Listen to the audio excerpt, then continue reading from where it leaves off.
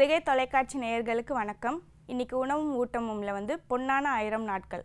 அதை பற்றி நம்ம பார்க்கலாம் இந்த செப்டம்பர் மாதத்தை வந்து இந்தியா முழுவதுமே ஊட்டச்சத்து மாதம் அப்படின்னு கொண்டாடுறாங்க. இந்த ஊட்டச்சத்து மாதத்தோட முக்கியமான கருத்துருவே இந்த பொன்னான ஆயிரம் நாட்களை எல்லாருக்கும் கொண்டு போய் சேர்க்கறது அப்படிங்கிறது தான் இந்த பொன்னான ஆயிரம் நாட்கள் அப்படின்னா என்ன?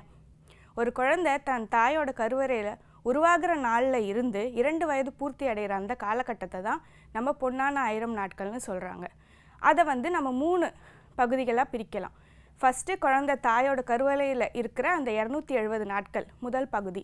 இரண்டாவது குழந்தை பிறந்ததுலேருந்து ஆறு மாதம் பூர்த்தி அடைகிற அந்த நூற்றி எண்பது நாட்கள்.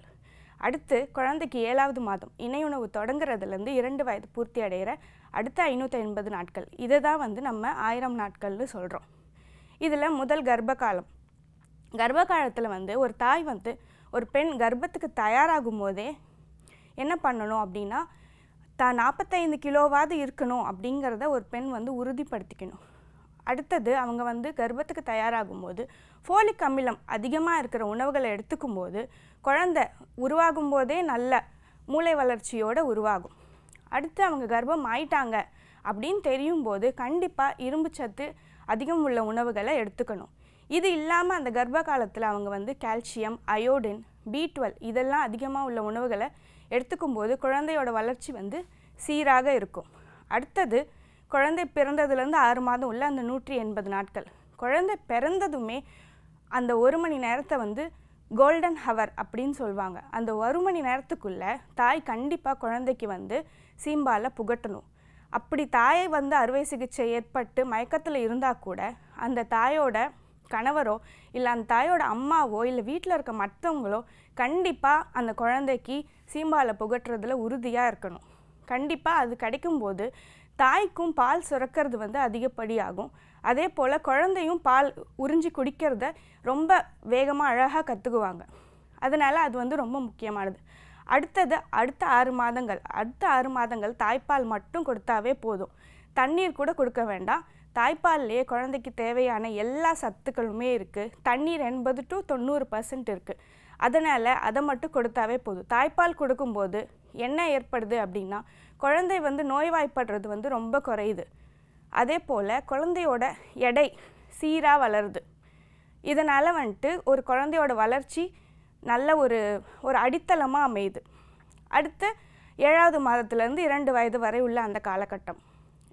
ஏழாவது மாதம் தொடங்கும் போதே வந்து ஒரு குழந்தைக்கு தாய் துணை உணவு கொடுக்க ஆரம்பிச்சிடணும்.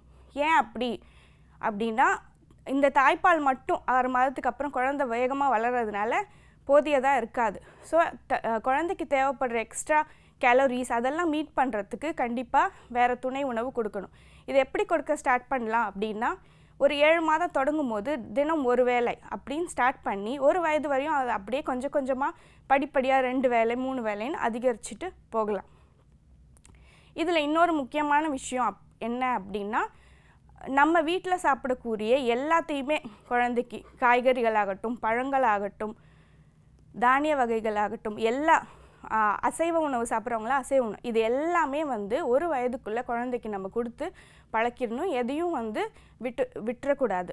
அதே மாதிரி ஒரு வயது வரைக்கும் தேன் வந்து கண்டிப்பாக கொடுக்கக்கூடாது. அதே போல் பால் பாலும் பால் சார்ந்த பொ பொருட்களையும் தவிர்க்கிறது வந்து ரொம்ப நல்லது. தாய்ப்பால் கண்டிப்பாக இரண்டு வயசு வரைக்கும் கொடுக்கணும். இது மாதிரி நம்ம செய்யும்போது தாயும் சேயும் ஒரு அன்போடையோ அரவணைப்போதையோ ஆரோக்கியத்தையோடையும் பண்ணும்போது என்ன ஆகுது? அப்படின்னா குழந்தையோட வளர்ச்சி சீராக இருக்குது. குழந்தை மூளை வளர்ச்சியும் ஆரோக்கியமாகவும் நல்லபடியாக இருக்கும்போது நாளைய சமுதாயம் நல்லபடியாக இருக்கும். ஊட்டச்சத்து குறைபாடு இல்லாத மா நாட்டை உருவாக்குறதுக்கு இது ஒரு அடித்தளமாக அமையுது. இது வரைக்கும் நான் கொடுத்த தகவல் வந்து உங்களுக்கு பயனுள்ளதாக இருக்கும் அப்படின்னு நினைக்கிறேன். மீண்டும் இன்னொரு நிகழ்ச்சியில் சந்திப்போம்.